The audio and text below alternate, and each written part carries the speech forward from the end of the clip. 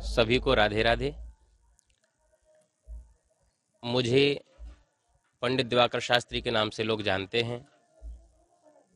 हमारा निवास श्री छारद्वारी आश्रम ओरछा धाम में है।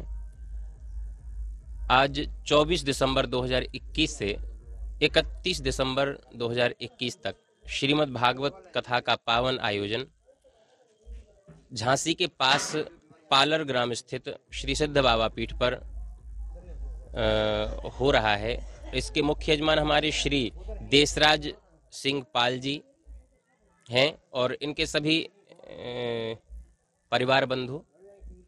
और अभी कलश यात्रा की तैयारी हो रही है। पूरी आशा है, जैसा रूपरेखा जैसी बन रही है, दिव्य, भव्य और विशाल तरीके से कलश यात्रा मनाई जाएगी। और ठीक उसी प्रकार से कथा का भी आयोजन होगा। आप सभी लोगों से हमारा निवेदन है कि यदि आप हमारे आसपास हैं कहीं भी तो 30 तारीख तक सुदामा चरित्र की कथा पूरी हो जाएगी और 31 तारीख को होली महोत्सव का भी आयोजन है और भंडारा है। तो आप सबको जैसे समय मिले सिद्ध बाबा पीठ पार्लर में आइए।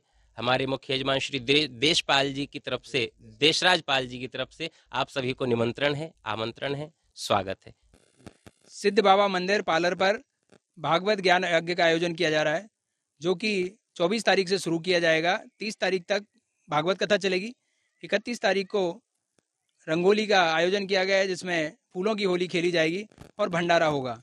और आज 24 तारीख को यहाँ से कलश यात्रा पूरे पार्लर में निकाली जाएगी और ये आयोजन श्री देशराज पाल, जो कि सरकारी उद्यान विभाग से रिटायर्ड हो रहे हैं तो उन्होंने अपने रिटायरमेंट के उपलक्ष्य में आयोजित किया है, क्योंकि सिद्ध बाबा की कृपा से ही उनकी नौकरी लगी थी। तो उन्होंने डिसाइड किया कि हम अपने मंदिर पर आकर और उनको एक भागवत सुनाएँगे और बाकी झांसी की सारी जनता, जो भी गाँव के वासी हैं, उन सबको भागवत सुनाएँगे, जिससे सभी लोग पुण्य लाभ अर्जित कर सकें।